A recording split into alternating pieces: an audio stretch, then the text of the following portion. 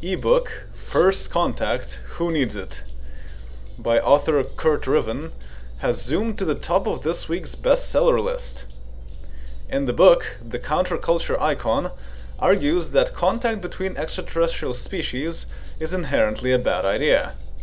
Riven writes Aside from the inevitable wars, jingoism, and disease that always follow first contact, there's a more insidious problem the homogenization of culture, of thought, of ideas themselves. As soon as I see how your ship works, I don't need to figure it out myself. I'll copy yours and whatever hope we had for something new evaporates. Maybe mine's a different shape, but so what? The same problem exists on a galactic scale where all major species are busy duplicating each other's ideas. It would have been better if they never met. Ironically, in light of the book's success, many copycat books are already popping up across the extranet.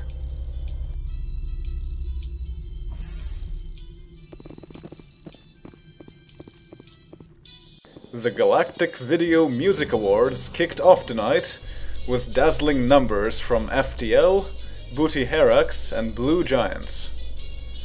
In what will undoubtedly be called the entrance of the year, F donned a cowboy hat and reinforced codpiece to ride a low-powered biotic singularity on stage. As for the awards, Best New Artist went to Domino Mask, Best choreography went to Skin Suits Mix It, and the coveted Video of the Year went to Varen Cage for their anthem Let It Up, Let It Out. A moment of silence for deceased singer Lady Sweat preceded her band's performance of Where You Gone, with the soulful vocals provided by VIVN Wonder. But the most memorable antic of the night was dubbed the Quarian Kiss, Lita Orn nar Idenna stripped off her mask when she won Best VI Directed Video and gave presenter Elisa Tinasti a big wet kiss. Lita's representatives say she is expected to make a full recovery.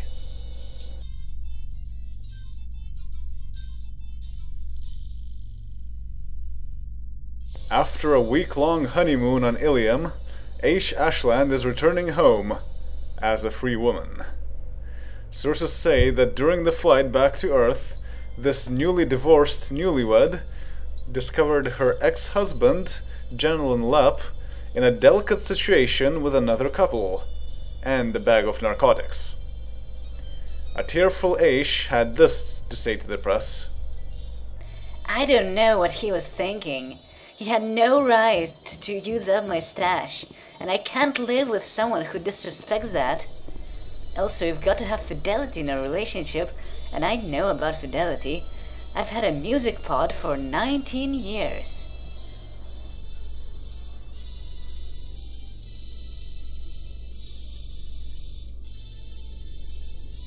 A record 7.3 million credits was paid for breeding rights to Gorfang Akosh Himon Igole Forvros, the varren who vowed judges at this year's Intercolony Varren Kennel Club show on planet Kruljavin. Gorfang is a red-striped nose from Tuchanka, who, his trainer boasts, has torn the heads off of a dozen armor mercs. While the judges had no way to verify this particular qualification, Gorfang is free of scars and has fine dentition. Don't rule the claim out, though. Experts say that piercing standard Krogan battle armor is quite possible for a varren in top shape. Tests have recorded Gorfang's jaw exerting more than 2 metric tons of pressure per square centimeter. That's quite a bite.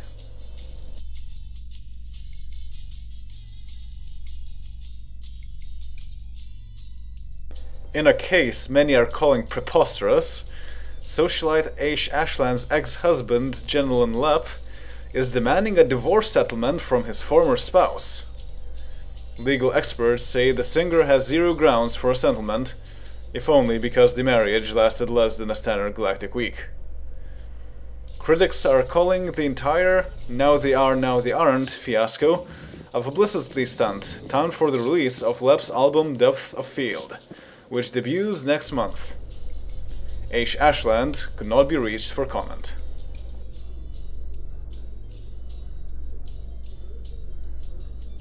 A dangerous new bug called WeC ripped through several thousand public extranet terminals last night and potentially infested millions of private connections.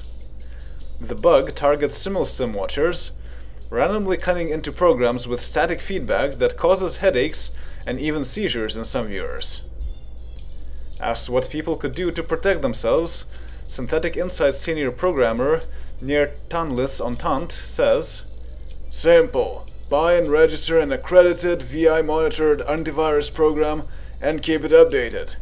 I don't understand why people won't spend 50 credits to shield themselves when plugging Simulite directly into their brains.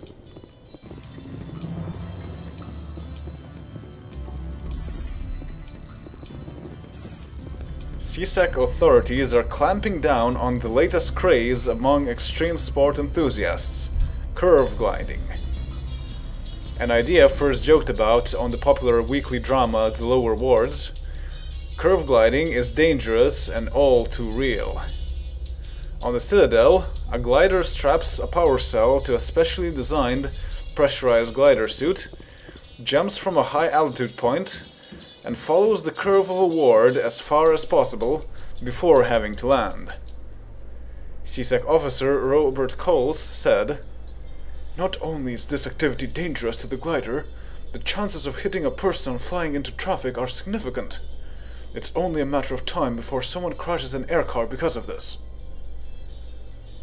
C-Sec has stepped up their vigilance in response to an incident that ended with a potential glider under arrest for attempting to scale the Citadel Tower.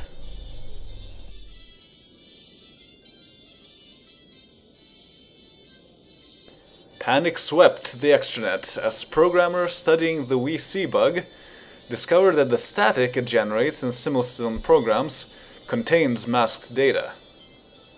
Although scientists insist that the data is scrambled in a way that can't be read by our mechanic minds, the SimulStim industry lost hundreds of millions of credits over the weekend as downloads dropped 80%.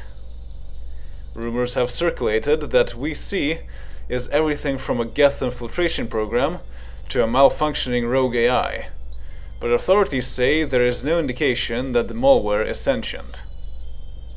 Omnitool users who have been infected can download an adaptive system wipe and restore from all major extranet provider homepages.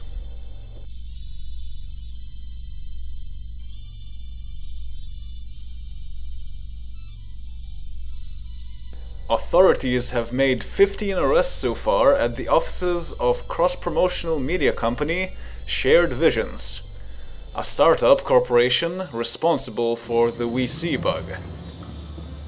Shared Visions faces the wrath of extranet providers, SimulStim distributors, and Omnitool manufacturers, as investigators confirmed that the bug was a failed attempt at designing a covert delivery system for subliminal advertising.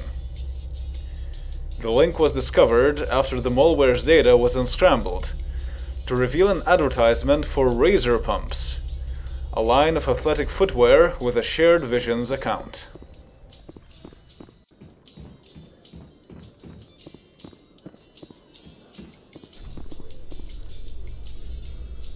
More than 23 million extranet users have signed up to sue Shared Visions, the company that created the notorious WeC program as part of an advertising campaign. CEO of Spite Media, Marcus D'Angelo, weighed in on the subject, calling the malfunctioning malware quaint. He added, The last people who believed subliminal advertising was effective also thought playing music backwards could make kids kill themselves. If you can't sell something up front, you have no business selling it at all. Shared Visions could be faced with paying up to 3.8 billion credits in damages.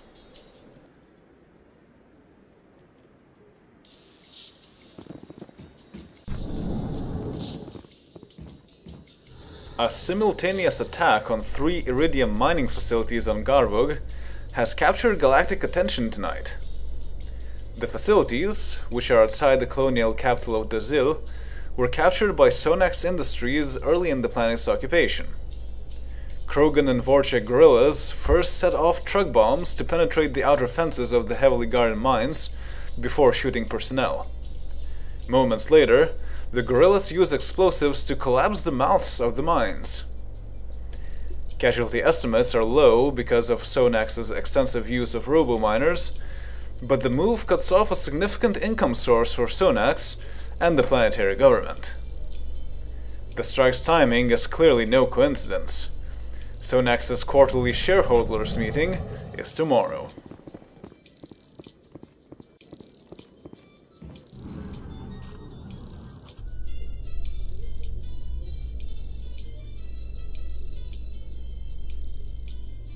Security and accountability are the watchwords of Sonax Industries' quarterly shareholders meeting tonight on Ilium. Fearing disruptions or attacks from guerrilla sympathizers, the company tried to keep the meeting location under wraps. However, hundreds of protesters found it, and fences and paramilitary forces are the only thing keeping the crowd back at this hour. The course of the war on Garvug could change tonight as the board of directors is expected to meet shortly after the shareholders' vote on company direction.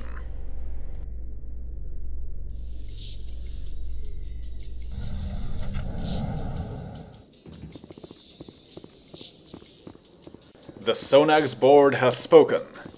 After six months of war on the planet Garvug, Sonax Industries board of directors voted 6 to 5 to withdraw troops from the combat theater beginning in 30 Galactic Standard, 35 Earth Standard days. To date, war casualties include 2,586 Sonax troops and 438 contract soldiers. Fielding troops and conducting the war has cost an estimated 21 billion credits, not including revenue lost from destructive acts such as the Iridium mine attack just days ago.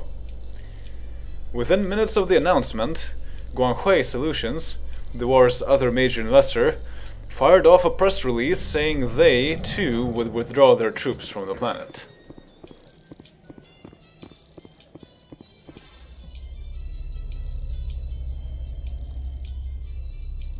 Sonax Industries' decision to withdraw from the planet Garvug is still making waves tonight as pundits absorb the news. The lesson here is that corporate forces can hold a planet on their own, said Joseph Cole, GBC News contributor. They can't face a determined enemy. Might be useful as supplemental troops or in corporate and corporate actions, but war is an inheritably unprofitable enterprise. Julius Redstone, former advisor to President Durden, says the board did the right thing. The army gave it all they had and couldn't destroy the guerrillas' capacity to pull off large coordinated attacks. The one-sided war that it was in the first few months would have been profitable. But as soon as that metric disappeared, they had to pull out. Iridium only sells for so much.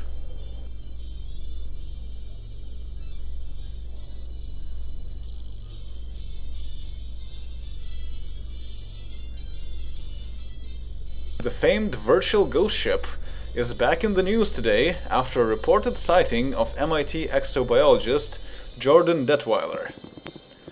This follows weeks of rumors that Detweiler had embarked on a diplomatic mission into a virtual alien world that he discovered on the ship's supercomputer. It is now understood that Detweiler's body remained in a controlled coma while his consciousness explored the artificial civilization.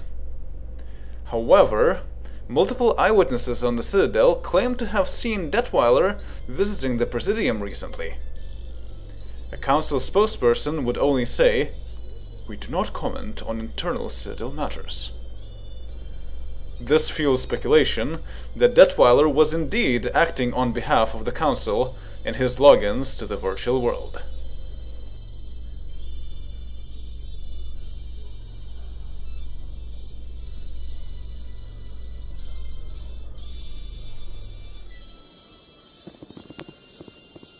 Recent polls show that two out of five respondents can't name their Citadel representative, and that 3 out of 10 don't know the difference between full and associate membership on the council. Educators and political parties are calling the polls an alarming indication of just how little the average citizen feels connected to galactic level politics. Even if a council member makes a decision that trillions love, critiqued political commentator Erlan Golta, billions will still hate it. So they take a middle road that turns their macro level policy decisions into pure bureaucraties. A typical council meeting produces a novel length request for new citadel carpeting before the issues that affect everyone else are actually discussed.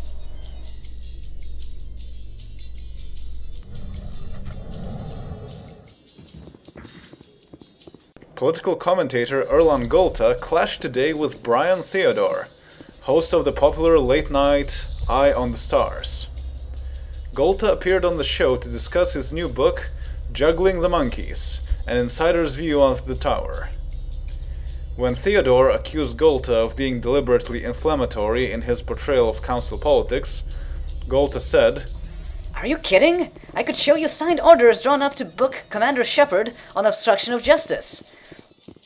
And this is from the offices of the councilors after the Battle of the Citadel.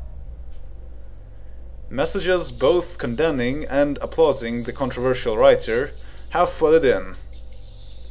When asked about Golta's guest appearance, Theodore remarked, It's always a pleasure. Anytime Golta wants to be catastrophically wrong in front of millions of viewers, I'm happy to have him on.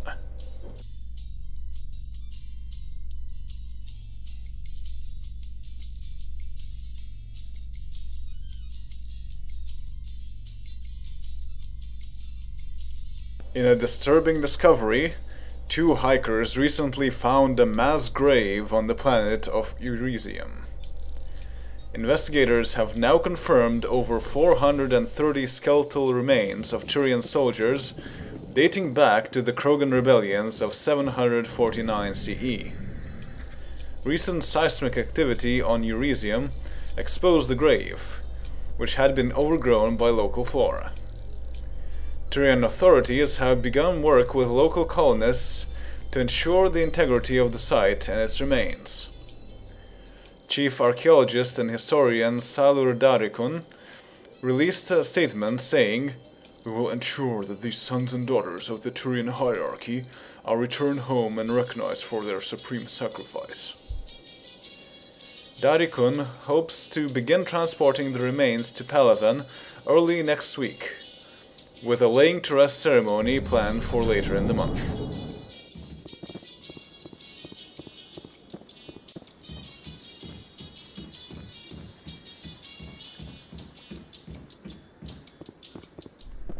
An unusual twist today in the case of MIT exobiologist Jordan Detweiler. Acting on recent rumors that he was seen visiting the Citadel, Detweiler's daughter, Kira, traveled to the Galactic Hub and demanded a meeting with him. Although she signed a confidentiality agreement, Ms. Detweiler claims she was repeatedly denied access. They only let me see my dad after I raised hell about it. She said. I can be prosecuted for speaking to the media, but I don't care. He's in danger. There's something wrong with him and the council knows it. Council representatives continue to refuse comment on the matter.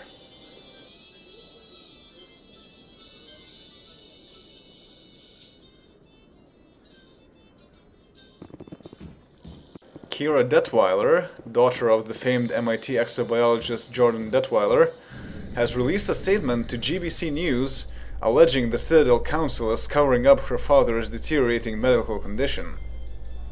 He didn't even know who I was, his own daughter. I got five minutes to speak with him before security whisked him away. Is he sick? Is he brain damaged? Council representatives declined to comment on the situation, fueling speculation that Dr. Detweiler was profoundly changed by his visit to the virtual world inside a derelict spacecraft. Silence is a terrible answer, wrote columnist Earl Den. The public doesn't know much, but it knows that anything relating to AI or synthetic life is something to fear. Refusing to comment leads us all to assume the worst.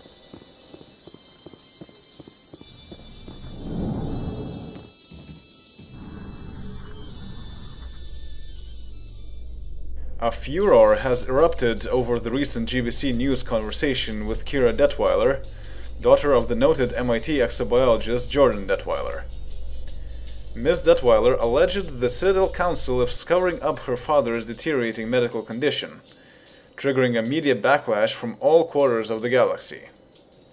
In response, the Council held a hastily arranged press conference to manage damage control, at which spokesman Anton Gaylor said, Acting on behalf of the Council, Jordan Detweiler did indeed visit the virtual alien world he discovered. Yes, Dr. Detweiler was seen on the Presidium recently, but this was his body, not his mind. He has, for lack of a better term, swapped with an alien consciousness in the virtual world. This procedure was the most stable way for their ambassador to gain access to our physical universe for diplomatic discussions. A stunned media corps quickly erupted with questions, but the council spokesman declined further comment.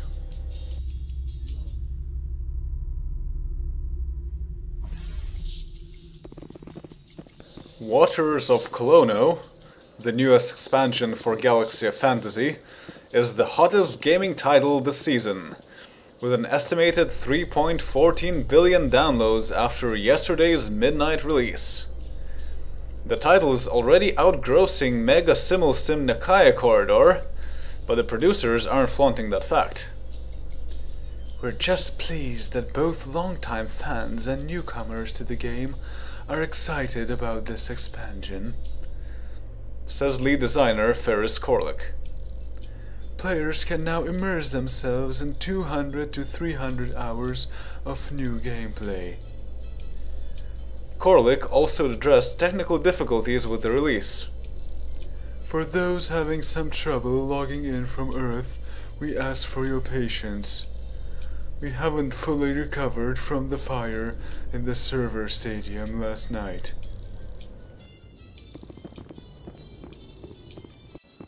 The scientific world is still absorbing the news that an ambassador from a virtual alien civilization is currently visiting the Citadel. An inside source reveals that during his travels within the virtual civilization, MIT exobiologist Jordan Detweiler agreed to allow the virtual consciousness of an ambassador Sigan to use his body as a conduit to interact with our physical universe. It is unclear to what extent Dr. Detweiler maintains control of his body. It's complicated, said the source. We aren't just talking about diplomatic ties between two planets or species, but between two universes, one physical, the other virtual. The source has refused to divulge details on the nature of the virtual alien world.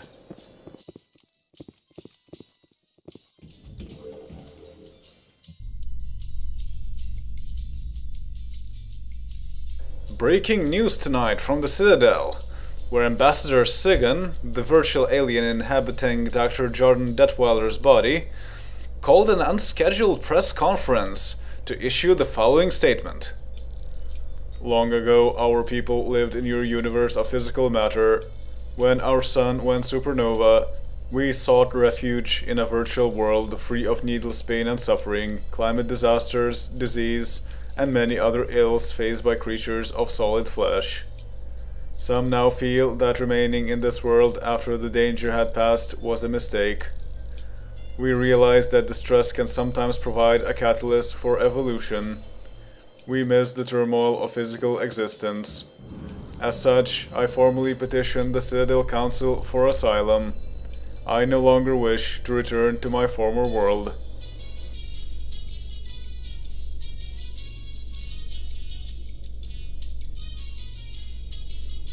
After yesterday's stunning request for asylum, Ambassador Sigan has been placed in secure wing of the Presidium while the Citadel Council deliberates its course of action.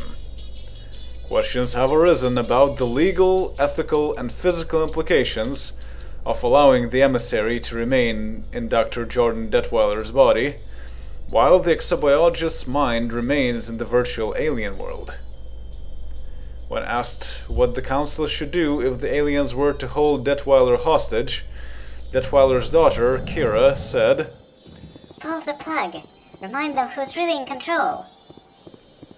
The Council has already ruled out this option, citing the moral implications of wiping out the last remnants of an entire civilization.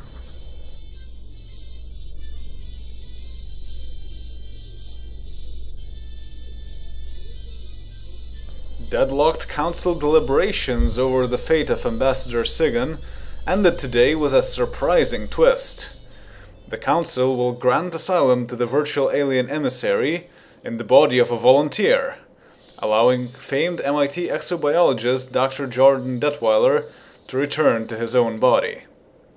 Ambassador Sigan will transfer her consciousness into the volunteer's body, while the volunteer's consciousness is downloaded into a computer. Upon hearing this decision, some 400 individuals from various races have volunteered to swap places with aliens inside the virtual world who wish to rejoin the physical universe. One Asari volunteered regarded this as An amazing opportunity to explore a new realm of existence. while a Salarian volunteer said, I'm doing it because I'm tired of our universe. It's a mess.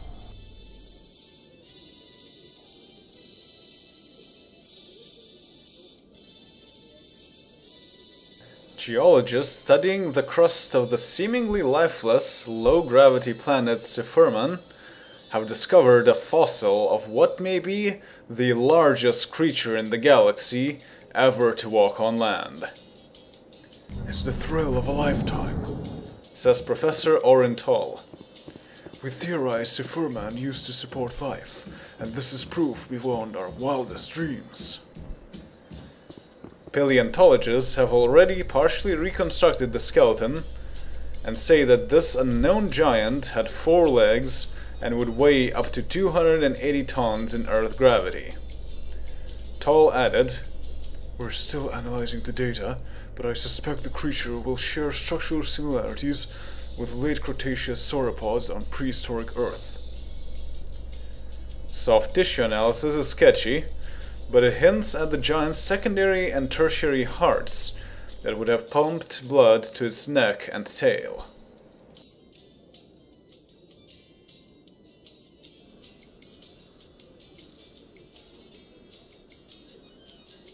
The Galaxy of Fantasy expansion pack Waters of Colono continues to dominate the charts, but users are complaining about long load times, lagging servers, and frequent disconnection. Many users have purchased multiple accounts to play with all new classes at once, but head of development Reta Latronas asked users to stick to single accounts during the first few days of the release. She warns that so many VI assisted hacks running at the same time will slow the realm down to a crawl. Our servers should be running smoothly by the end of the week. She said, In the meantime, just find a team.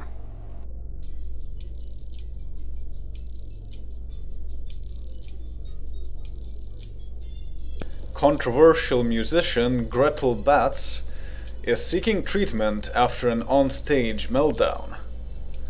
The latest scandal surrounding the unpredictable rocker involved her walking out on a charity concert on Earth after an obscenity laced rant. Her band, the Dramaxines, kept playing during the often incomprehensible and vulgar tirade, but soon dropped off when it became clear the obscenities weren't part of the lyrics. The 10 minute exchange, which heaped scorn on, among others, the Vol Protectorate, the concert's sponsor, Pope Leo XIV, and Sonax Industries, culminated in Batz throwing her guitar at the crowd and being restrained by security before she could do further harm to herself or others. Already a new turn of phrase is circulating on the extranet. We can't repeat it here, but it starts with bats and ends with crazy.